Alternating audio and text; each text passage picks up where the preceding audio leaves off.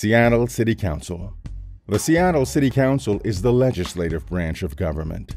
Members set the city's direction by enacting ordinances and passing resolutions. The council authorizes expenditures, adopts regulations, levies taxes, controls the finances and property of the city, and performs many related legislative tasks. Of the nine city council positions, two, position 8 and position 9, are at large, representing the entire city for a term of four years. Positions 1 through 7 each represent different districts of the city. Only the two at large council positions are up for election this year.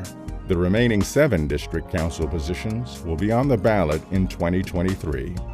All voters in Seattle can vote in both of the at large city council races.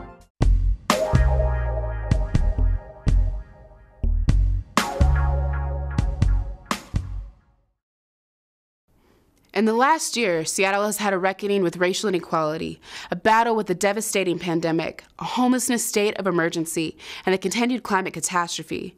The question before Seattle voters is straightforward Will we continue to rely on policies of the past, many of which have brought us to this point, or is it time for a fresh perspective rooted in community care? My name is Nikita Oliver. I use they, them pronouns, and I am running for Seattle City Council's citywide position 9. I'm a community organizer, executive director, artist, adjunct professor at Seattle University School of Law, and an attorney who has supported clients through school exclusion, eviction, and anti discrimination cases. When elected, I will serve with the conviction that we need solutions now that are commensurate with the crises we are facing and in alignment with the vision of the city we strive to be. A vote for the Nikita for Nine campaign is a vote for a city that embodies racial and economic justice, a city with labor protections, prevailing wages, and health care for all, a city that enacts progressive revenue to build housing and meet the basic needs of our residents, a city that takes bold action to address the climate crisis, working towards free transit and reforming zoning codes that restrict our supply of affordable housing and further perpetuate racist exclusionary zoning patterns.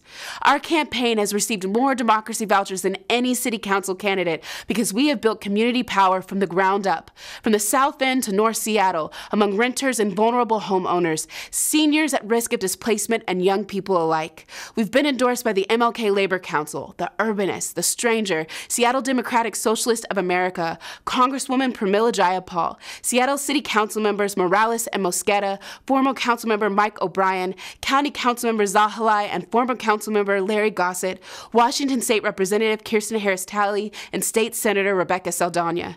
Together, we will build the city we say we are, a city where all are healthy and thriving. Seattle, we've got to talk. We live in a gorgeous city, but unfortunately, our elected leaders are failing our most vulnerable.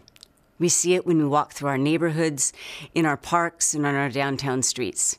On critical issues like homelessness and public safety, City Council is making big promises but delivering few, if any, measurable results. It's time for a change, and I bring the right experience to make that change happen. As a former council aide, I helped pass landmark legislation to build affordable housing, increase transit, and tackle climate change. As co founder of Fremont Brewing, I created a neighborhood business that's known for taking care of its workers and giving back to the community. As your council member, I'll be a pragmatic progressive, someone with a plan to get things done, providing housing for our most vulnerable while restoring our parks and playgrounds. And I'll be responsive, accountable, and transparent. I have to be blunt with you, there's a big contrast in this race. My opponent says that abolishing the police is the first step in public safety. I think that's irresponsible. I strongly support comprehensive police reform, but I believe that when you call 911, you should be able to count on a fast, effective, and fair response. That balanced approach has earned me the support of police reform leaders like Victoria Beach, chair of the African American Community Advisory Council, and Reverend Harriet Walden, founder of Mothers for Police Accountability.